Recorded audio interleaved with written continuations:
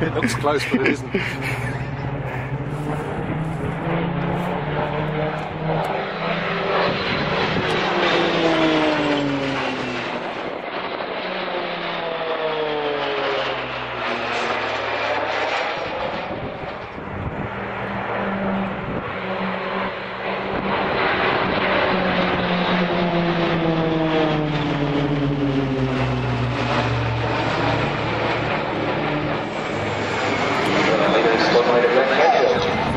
Squadron Canfield joined the Navy in 1994 and after flying helicopters and fixed-wing aircraft with the Navy for 12 years, he transferred to the Air Force.